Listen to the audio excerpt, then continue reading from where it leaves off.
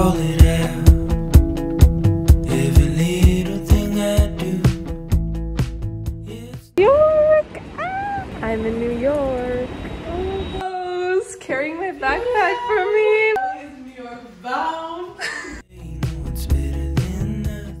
On the first night, Rose took me to one of her favorite restaurants, Dim Sum Palace, and we ordered so many things. Everything was amazing, but our favorites have to be the barbecue pork buns, the soup dumplings, and the sweet egg yolk buns. We're going to Rose's apartment party. Yeah. This bitch is my day one Yep. since Homie sophomore since year, sophomore baby. year. Period three dance class. We don't gotta talk about it, but it happened.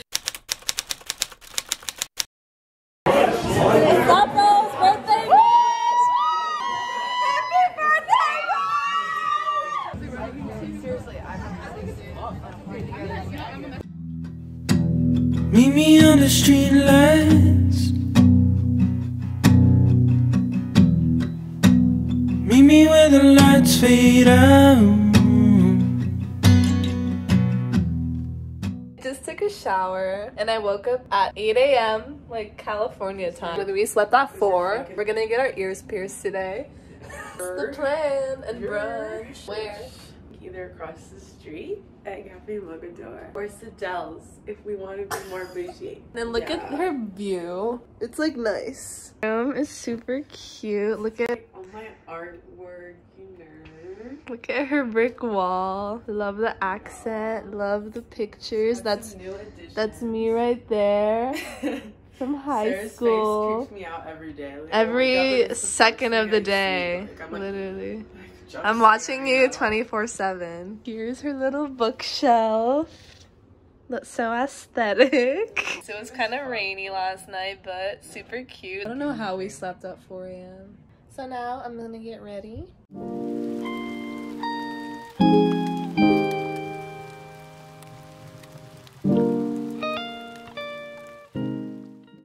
Hello, y'all. I got ready, and this is my fit.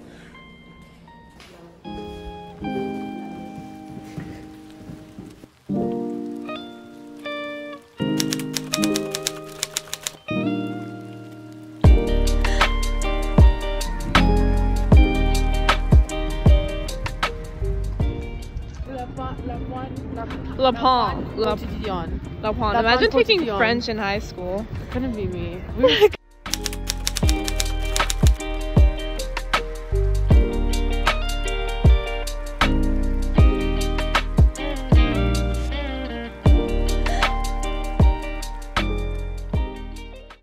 Okay, we're gonna do a fit check at the subway. So tell me where everything's from. I don't know where this is from, but it's obviously like the accent pants. So. Yeah. Um, these are palazzo pants that I got from Urban Outfitters. I've worn these literally every day. It's from the 70s. It's a vintage piece I got out of Berkeley thrift store. This is my Berkeley- mom's Berkeley bomber core, Berkeley jacket. core. Um, Uh-huh. This is from Princess Polly. This skirt I got from. These are from Amazon. The tights. We love an Amazon purchase. And then we have the dogs. Uh huh.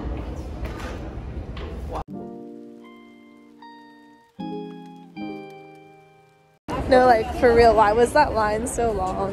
And now we're going to replace Rose's AirPods. I can't function without my AirPods. yeah. Like, let alone just like one AirPod. Like, that's just not gonna cut it for me. Let's Hopefully, go. they give me a NYU student discount.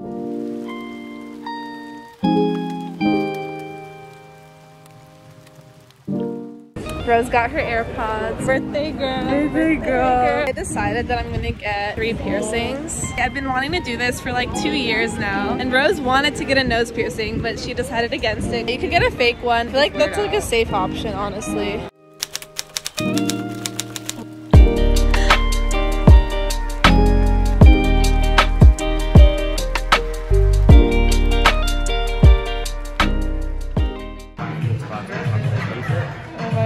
Right now, I'm just making an indentation.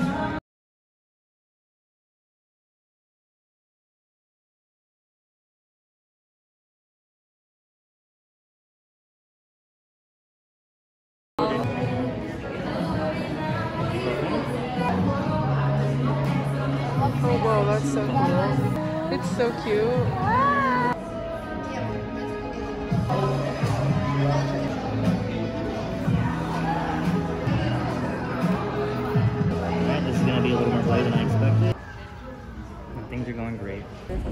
This is crazy.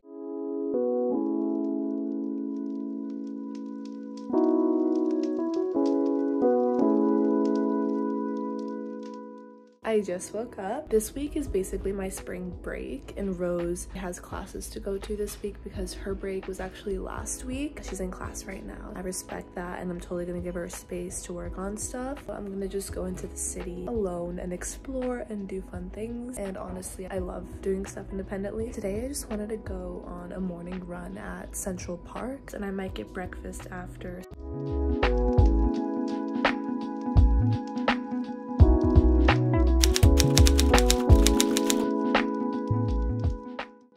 After my run, I cooled down by strolling through the Upper East Side, truly trying to live my Gossip Girl dreams.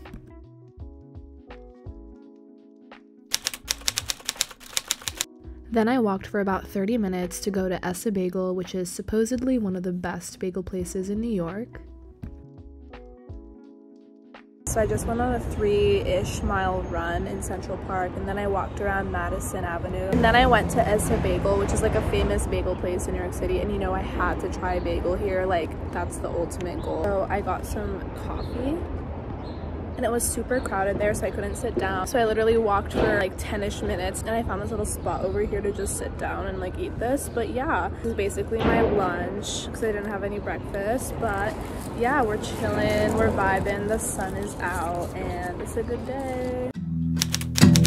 Meet me on the street light.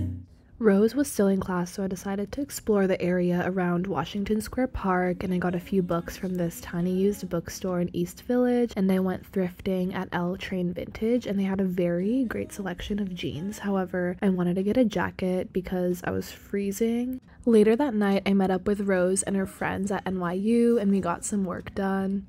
My friend says slay, and now I'm like, Oh slay. No, no, that's I say literally also an. Ava. I say period. Driving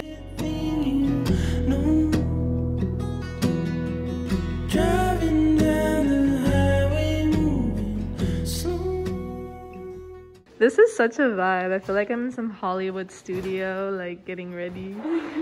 I catched up on a few econ lectures and we ended up staying at the study lounge until like 1 a.m. The next morning, we went to some cafe nearby and I absolutely loved the ambiance and the art here.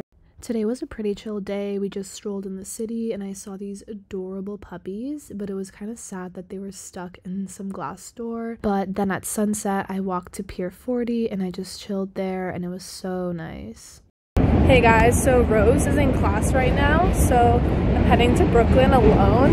It's pretty rainy right now. My hair looks nice right now, but it's probably gonna get frizzy as fuck because of this rain. I'm gonna check out like the Brooklyn Bridge, maybe get a pizza. All by myself, independent lady out here. That's basically what I'm doing.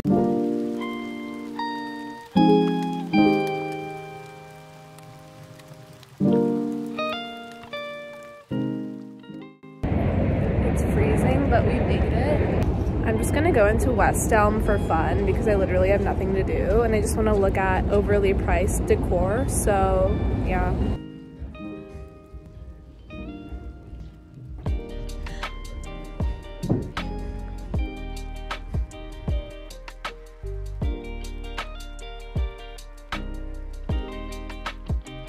I just ate my pizza below the Brooklyn Bridge. It was amazing. I also got their world famous ice cream. Kind of freezing my ass off. Ignorantly, I got some ice cream. But honestly, while I'm here, gotta try everything. So that's my excuse.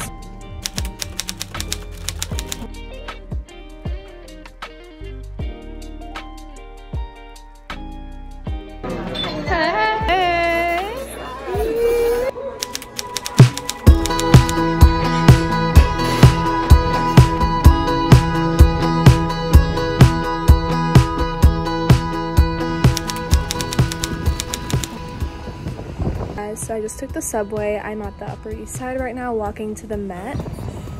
So basically, I was gonna go to the Met with a date from Bumble, but I last minute decided that I wasn't in the mood, so I ended up just not going with a date. Right now, I'm just going to the Met alone, and honestly, I feel like when you go alone, you can really enjoy the art anyway. I hope I have enough time, because on Thursday, they close at 5, and then I'm meeting up with my big from my sorority for sushi, and then after that, I might go clubbing, so I'm trying to pack as much as I can, since it's my last night here. I'm leaving Friday at 1.30, I love it here and I literally don't want to leave. I wanted to stay longer and change my flight, but I would have to pay another $100 and I was not about to do that, but I would stay here longer if I could. And I also have a paper due. I'd rather just get that done when I'm back at Berkeley. So I guess I'm gonna leave early, but I could literally stay here for like months or even live here for all I know.